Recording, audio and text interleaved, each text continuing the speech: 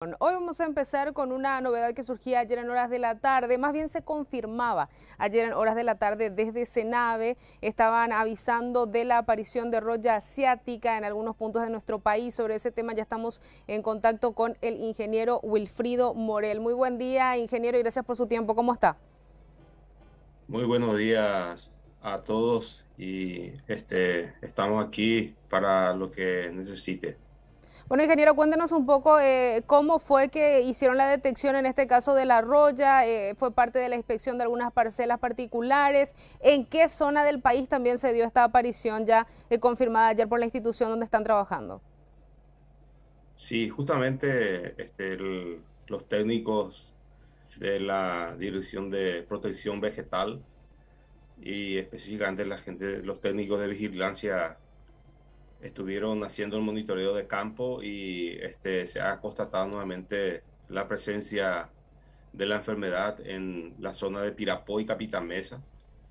En esa región justamente eh, tenemos eh, cultivos de una planta hospedante alternativa que es el CUS, lo que estamos viendo ahora mismo en, el, en la pantalla, y también en plantas aguachas de soja en Capitán Mesa y Pirapó este, donde la enfermedad está desarrollándose y seguramente ya estará trasladándose a los cultivos comerciales de soja que tenemos actualmente en la zona, ¿verdad? porque tenemos justamente este, siembras de diferentes épocas, sojas que están en desarrollo este, vegetativo avanzado, muy prontamente entrando en la floración, algunos que están en la primera etapa de desarrollo, primer, segundo trifolio, son las primeras parcelas que van a estar siendo infectadas, atendiendo el factor climático muy importante, muy conducente para la roya de la soja y este, en el cual justamente el SENAVE una vez más insta a los productores a tener en cuenta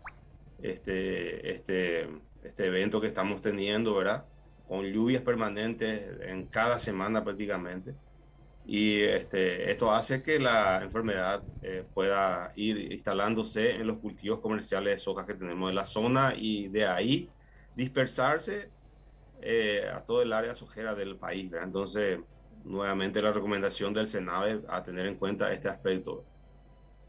Bueno, ingeniero, nos confirma dos lugares por lo menos hasta ahora, entonces Capitán Mesa y, Pirapó. Y por favor, eh, recuérdenos, nos decía usted eh, las condiciones ambientales, eh, bueno, que son propicias para que se extienda. Si puede recordar un poquitito cuáles son esas condiciones para que los productores nuevamente, sabemos que la mayoría están manejando, ¿no? Pero estén alertas a estas condiciones. Justamente las condiciones climáticas que tenemos hoy día con lluvias permanentes, temperaturas este, no tan calurosa, temperatura amena. El, el, rango de que le gusta, digamos, a la roya está en, en torno del 18 a 26 grados, con humedad eh, alta de más de 80% en el ambiente y las lluvias frecuentes que estamos teniendo son los factores principales para que pueda ocurrir la enfermedad en, en los cultivos. En ese sentido, este, existen este, relaciones muy importantes para la ocurrencia de enfermedad, que es lo que llamamos el triángulo de la enfermedad.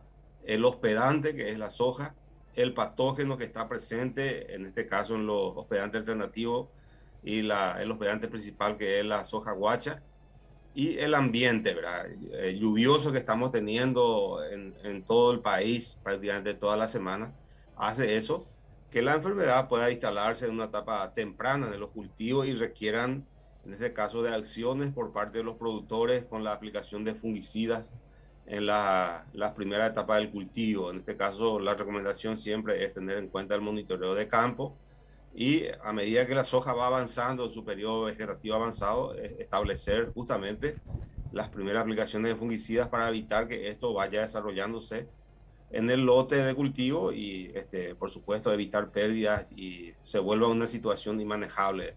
Recordando que las aplicaciones preventivas de fungicidas son lo que tienen mejores efectos para el manejo de la enfermedad.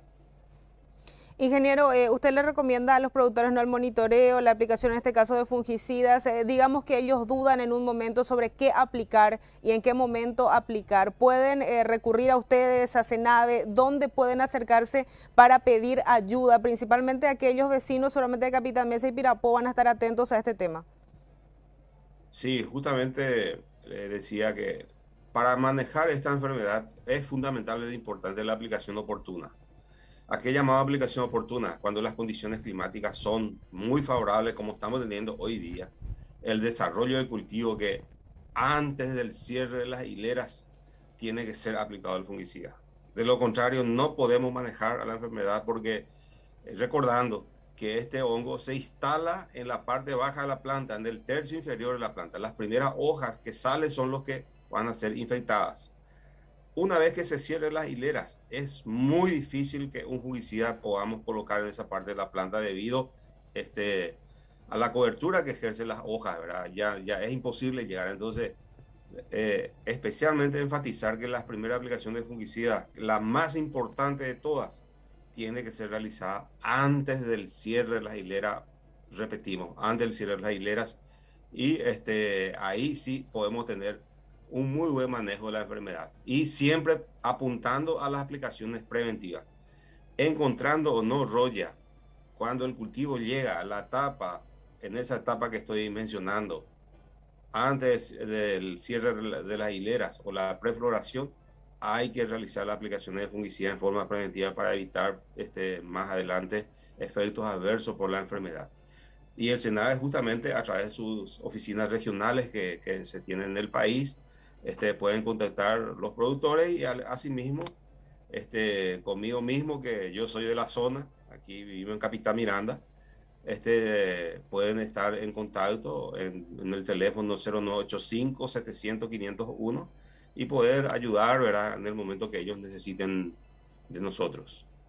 Gracias, ingeniero, por eh, facilitar también el contacto directo a los productores, principalmente de la zona, seguramente van a estar preocupados. Eh, zonas vulnerables, ingeniero, eh, que nave maneje en este caso y que de repente podríamos decirle está un poco más predispuesta a, tener roya, a registrar roya. ¿Qué zonas ustedes están monitoreando con, más atención, vamos a decirle, como nave?